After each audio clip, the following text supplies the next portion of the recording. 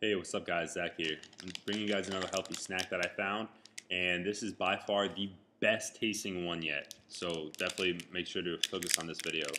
Uh, it is Met-Rx's Protein Plus Protein Bar, as you can see. Pretty awesome. Um, 32 grams of protein, no trans fats, only one gram of sugar.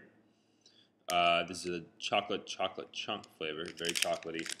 Um, let me just run over the uh, supplement facts for you guys. Serving size is one bar, which is 85 grams. There's 310 calories, 80 calories from fat, uh, 9 grams total fat, um, no trans fats, 200 milligrams of sodium, 160 milligrams of uh, potassium, which is good, 32 grams of carbohydrates. So you have a nice balance between carbohydrates and protein, which is always good um, especially right after your workout, which is when I suggest that you take this if you're like in a pinch, like you're on your way home and you get stuck in traffic, something like that. Um, these are definitely good to have around.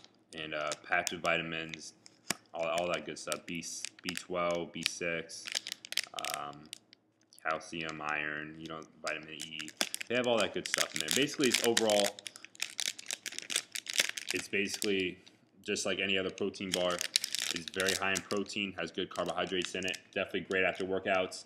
Um, it was pretty cheap too. They're like dollar, dollar ten. Some. I mean, they weren't too too expensive. If I got them at Publix, I buy like three or four at a time. So it's I'm not like running my bill up too bad.